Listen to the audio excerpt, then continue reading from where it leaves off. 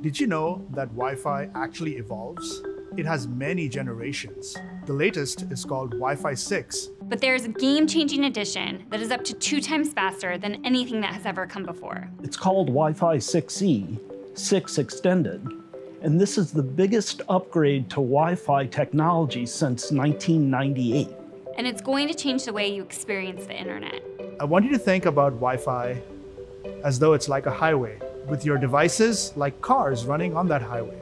In the past, it's been just two lanes the original slow lane, the 2.4 gigahertz lane, and the faster 5 gigahertz lane. For a while, these two lanes worked well. There was enough space between vehicles and little congestion. However, as more cars got on the road, more traffic began to occur, and there were greater slowdowns. With Wi Fi 6E, an entirely new lane has been opened up. Think of this as adding a super high speed lane. This new lane has much less traffic and is significantly wider, which allows for a faster speed and even more cars on the road. This means less buffering for video calls, lower latencies for online gaming, and the ability to connect many more devices to your home network than ever before.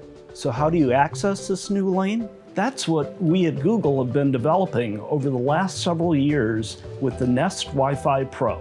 It's Google's first tri-band mesh network-ready device that can access the full 6 gigahertz Wi-Fi spectrum. So even your older devices that can't connect to Wi-Fi 6E will still experience faster speeds and less network congestion. Now more than ever, we expect Wi-Fi to just work. And the Nest Wi-Fi Pro will do just that with reliable, high speeds throughout your entire home.